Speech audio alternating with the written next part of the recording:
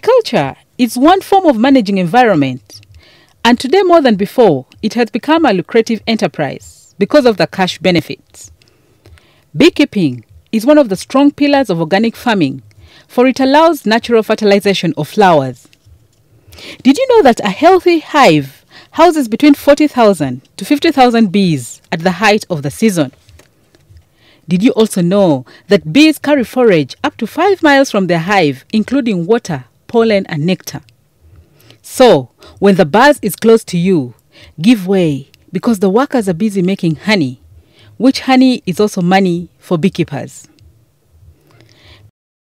Bee products, commonly known, are bee wax and honey. But there is the pollen, the propolis, and the royal jelly, whose medicinal value is equally vital.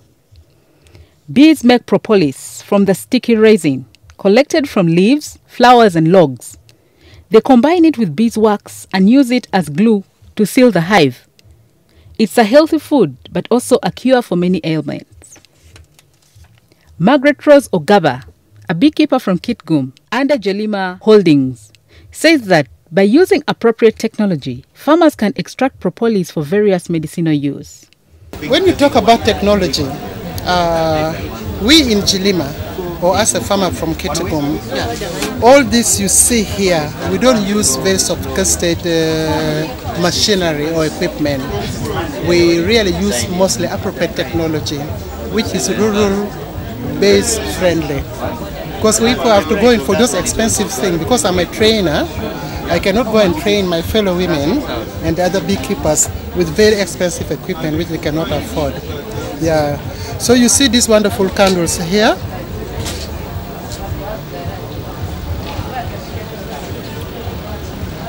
I have the rose. All these candles have names. This is sunflower. This is Christmas. This is Rose, which is my middle name. I like it so much. This is Bursting Flame. This one is Bees on the Comb. Another Christmas. Oh, there are so many. This we use appropriate technology. We have the, the honey wine. We use very simple ingredients. Honey, water, and a fruit called tudu. Tudu is a local coconut tree bearing orange flowers. Hmm? And then here, one of the outstanding bees product called propolis. Many people don't know about it, or those who know about it, they ignore it. But it has so many medicinal properties. It has antibiotics, it has antiviral, antifungus, antiseptic, anti-inflammatory. So even we use simple technology to make this propolis tincture, which is very useful for our health. Sore throat, first aid in wounds, um, cough, name it. Down to Masaka district. In Gulama village, the Baksimbi Community Development Project focuses on beekeeping as a way of sustainably managing the environment. Mr. Deo Kiwanuka, a member of the Baksimbi Community Development Project, says that trees are a prerequisite for apiculture. Trees are the habitat for the bees, but also provide nectar for honey production. The flowers will be on. Ayanda, never, even in dry season, it is over there. Yeah. Very and if thin. any, if we terms, if we come to terms of wood, Mm. firewood, Excellent. three days You you can cook. you can cook. You can cook, yeah. For goats, Mhm. for pigs, for Cows, yeah. chicken and all that, it is good. And again, it is a, a good uh, nitrogen soil fixer. Yeah. So it is good. And all this, this, this is also good for for bees, for pollen. The pollen. Yeah, very good. Hmm. And they say pollen from these flowers are very, very big. Another part up there, but this is for mainly for fruit, fruit trees, and the beekeeping. His apiary is located in a coffee garden, but he also maintains the indigenous flowery shrubs to attract more bees. He notes that to effectively colonize bees, the environment should be free of pesticides, free of smoke, free from strong odor and irregular noise traffic. He says, however, that bees have a protection mechanism of attacking intruders, but frequent exposure to such fears could tame them depending on the routine of exposure. The Baksimbi Community Development Project is among the many community demand driven projects meant to benefit communities living around the Lake Victoria Basin. The project of the Lake Victoria Environment Management Project, LAVEMP 2, is in charge of this community demand driven project. But since 2011, the LAVEMP 2 in Uganda has failed to support communities around River Katonga catchment of the Lake Victoria Basin. The LAVEMP 2 is a regional project under the Lake Victoria Basin Commission, working in the partner states of the East African community. Community demand driven sub projects are aimed at helping communities within Lake Victoria Basin to engage in alternative livelihood projects that will enable them reduce degradation of the lake catchment as a way of saving Lake Victoria. Uh, projects like this, they sort of reduce the pressure that we currently have on Lake Victoria in, in, terms, in terms of being an alternative uh, livelihood in intervention, alternative income generating activity for communities like this group, so that they are able to making in the wetlands or encroaching on wetlands for, for agriculture. That is, it, it, it's a cause of the you know, the stress, environmental degradation in Lake Victoria.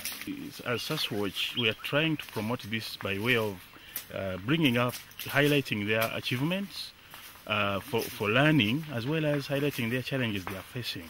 Because uh, as we have seen in the meetings that we have held with these communities in Masaka and Rakai, there's a challenge of rolling out, of getting the LAVEMP project uh, funds into to these levels, which can enable the groups to really take off because now they have waited for six months and so uh, that affects their, their morale and their commitment to these such of projects, which are worthwhile in terms of reducing pressures on Lake Victoria. So as such, we shall continue to highlight the, uh, the achievements as well as the challenges uh, to the relevant actors in uh, the World Bank and the Ministry of Water and Environment, as well as the Lake Victoria Basin Commission that is coordinating the LAVEMP2 project overall in East Africa.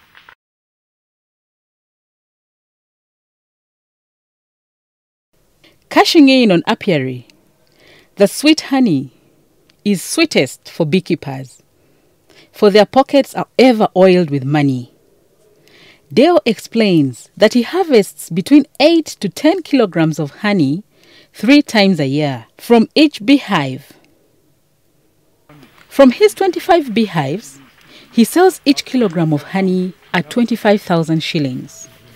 So, do your mathematics and count the gains. Mrs. Ogaba observes that through appropriate technology, her range of bee products are highly marketable. She refers to them as beautiful products.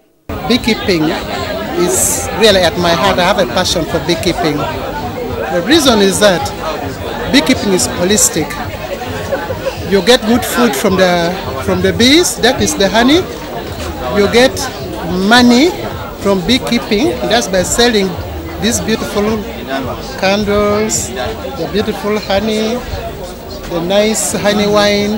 The caution, however, is that just like any other undertaking, creative measures are required in beekeeping.